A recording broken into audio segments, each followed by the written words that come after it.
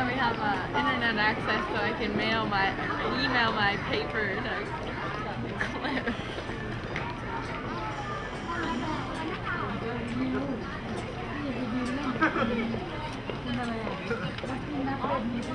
So what do you use the footage for?